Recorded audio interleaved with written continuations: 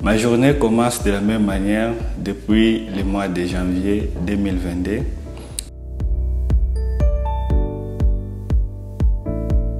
Je me réveille le matin pour aller à la minoterie.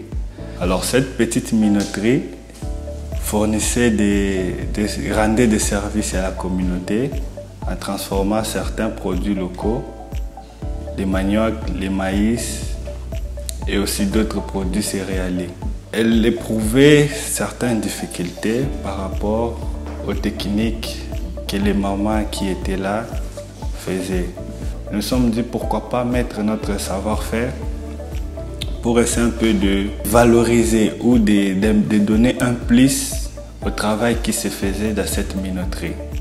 C'est alors que nous nous sommes inscrits à l'incubateur Elikia pour un accompagnement technique. Alors, l'incubateur Elikia nous a permis de rendre claires nos idées et aussi d'aller de, connaître nos potentiels clients et aussi nos potentiels partenaires.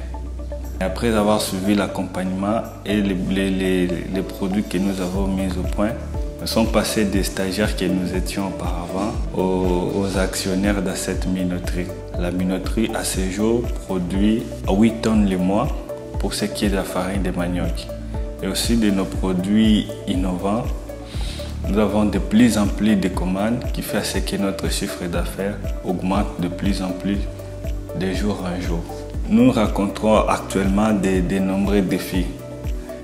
Nous avons l'électricité, la pénurie du carburant et aussi les transports parce que les routes de dessert où nous allons nous approvisionner la matière première est dans un état d'impraticabilité très avancé.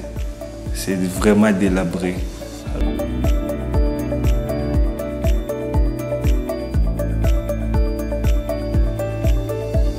Après les services, avec mes collaborateurs auxquels nous sommes devenus une famille, nous nous retrouvons le soir pour se détendre un peu et aussi voir les perspectives d'avenir.